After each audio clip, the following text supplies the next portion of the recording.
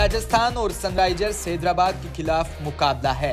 संजू सैमसन चाहते हैं कि इस बार राजस्थान रॉयल्स की टीम आईपीएल 2022 में नीडर होकर खेले। राजस्थान ने पिछले तेरह से खिताब नहीं जीता।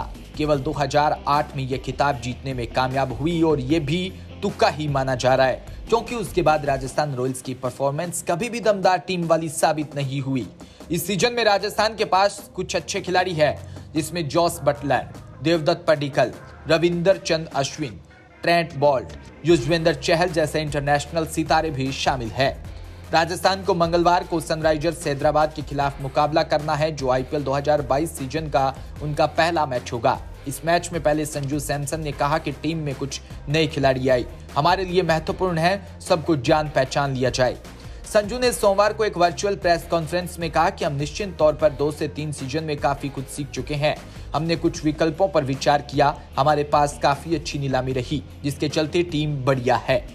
वहीं सैमसन को लगता है कि राजस्थान रॉयल्स के पास इस बार काफ़ी विविधता है। उन्होंने कहा कि हमारे पास भारतीय और इंटरनेशनल स्टार है।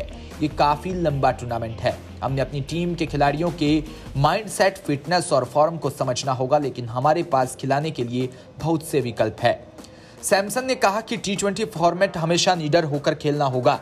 इस तरह के खिलाड़ी इस बार टीम का हिस्सा है। ऐसे में हम बाहर जाएँगे और खुद का प्रदर्शन करेंगे।